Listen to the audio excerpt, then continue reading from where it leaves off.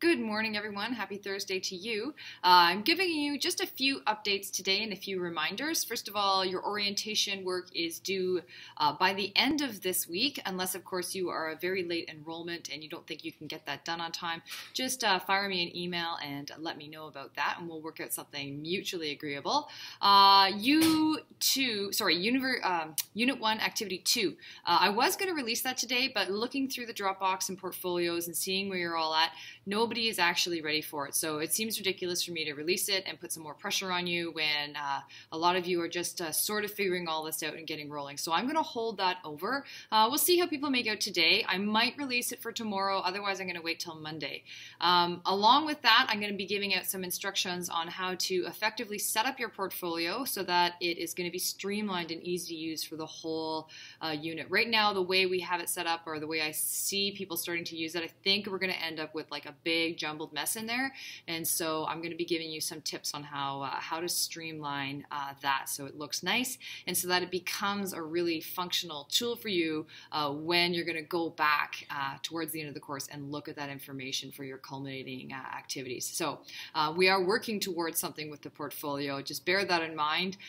this this course is really well designed in that everything you're doing leads somewhere later. So more on that to come. Uh, additionally, I think that's all I had to say, except for one important thing. As you're going through activity one, a lot of you uh, have been popping me little questions. How about this? Am I doing this right?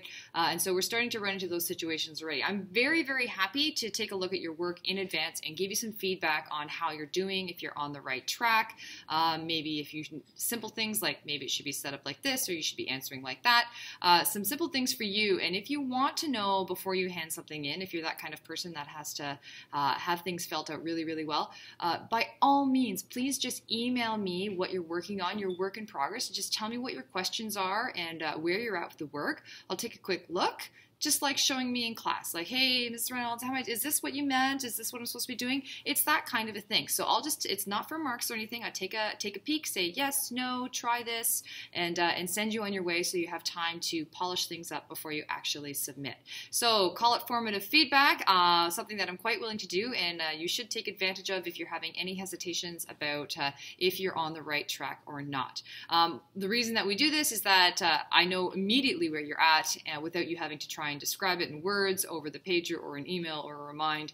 And of course, we're asynchronous, right? So sometimes if I'm teaching, there is you know a huge time lag between you sending me a message and me getting back to you, and those hours can be grueling. So uh, to minimize all of that back and forth nonsense, we're just going to send one email off with a question, and then usually I'm pretty good. Uh, usually, I go back to you. I can probably turn that around within a day so you can see it. So leave yourself enough time uh, before the due date is what I'm saying. That's it for now. And again, if you're having questions, concerns, you don't know where you are, what's going on, by all means, send me information. I'm here to help you. Thanks. Have a great day.